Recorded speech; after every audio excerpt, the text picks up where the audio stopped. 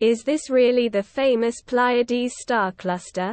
Known for its iconic blue stars, the Pleiades is shown here in infrared light where the surrounding dust outshines the stars. Here three infrared colors have been mapped into visual colors, R equals 24, G equals 12, B equals 4.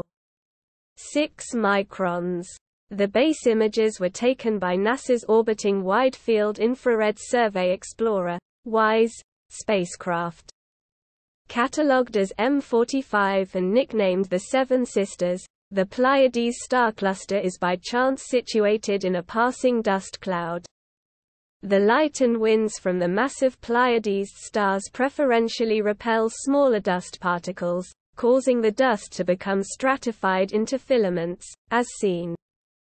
The featured image spans about 20 light-years at the distance of the Pleiades, which lies about 450 light-years distant toward the constellation of the Bull, Taurus.